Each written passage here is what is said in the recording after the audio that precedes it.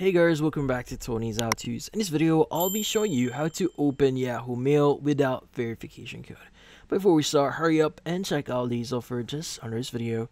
So let's get started. So you might be wondering how to exactly open up your Yahoo Mail here without any verification code that you need to use here on your Yahoo Mail. Well, the thing with Yahoo here is verification codes is a way for them to really verify that, hey, you're really the person that owns this account, just to verify that you're the real owner. So basically, it's a security feature that Yahoo uses on your account.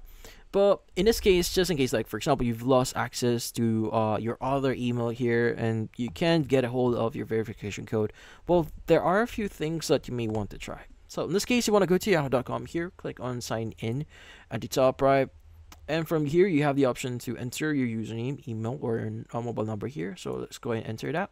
Click on next. Now, by the way, if you have like a Google account that you are using for Yahoo Mail, it is going to be a lot easier. You just need to click on continue with Google and that should allow you to log in into your account. But then again, if you don't have that option, you just need to do the steps here. So let's go and verify traffic flag here. Click on continue. Click on continue again once you verify that. And you just need to enter your password. Now, to be speaking, once you click on next here on entering upon entering your password, it will require you to enter your verifi verification code here, usually sent to the other uh, email address that you've linked into your Yahoo account. But in some cases, if you're not able to do that, you can go and click on forgot password here and from here, it should give you other options. So in this case, if you've added like a phone number or a WhatsApp account into your account, which is I highly recommend that so you have more options on recovering your account here. So you can either click on text message here, which in this case, they will send you a code via that way instead of your other email address. Now, if you have WhatsApp, same thing, it will send the, uh, the code via WhatsApp account instead of the other email address that you have. So you can go and click on I need more options here to see your other options here for Yahoo. But to be speaking, if you don't have any other options here, it's, it might say something went wrong. So you can go and click on go to help here to open up the help menu for uh, Yahoo. Should open it up here. From here, it's going to say choose product. You can go and choose account here.